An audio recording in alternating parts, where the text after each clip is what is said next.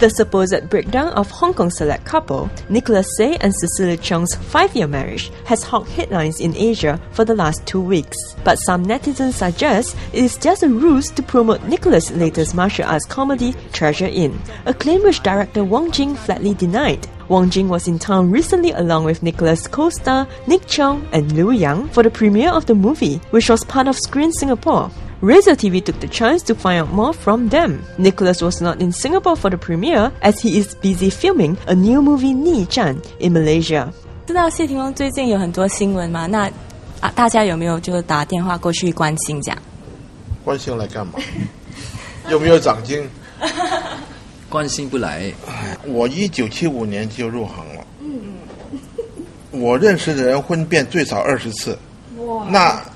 那么多朋友，总有的嘛，对不对？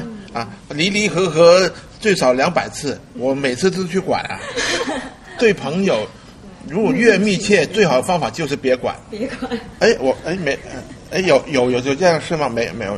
你们你们管你们自己的事，我们就是，哎没事都不知道，就最好。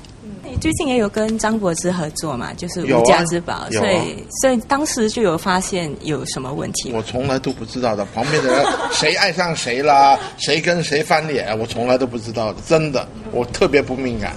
Another scandal-plagued star in Treasure Inn is Chinese actress Pan Shangsheng, infamous for leaking Hong Kong actor Raymond Lam's bedroom pictures online. There goes his squeaky clean image. She played a minor role as a seductive assassin in the film, so did Wong Jing expect her rise to fame when he cast her? 身材好，红的那么快，实在呢，实在还不懂，你还不喜欢嘛？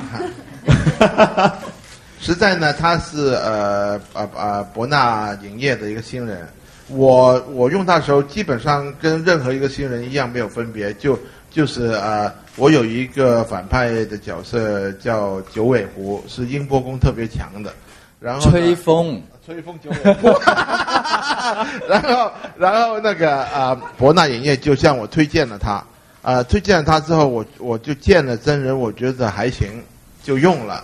然后来的时候还啊，因为他可能没拍过几部戏，所以就就也不还不太熟悉，所以还得花了一点时间去令他进入状态。可是是个聪明女孩，呃，拍了几天之后就慢慢进入状态，也后面就就可以了啊。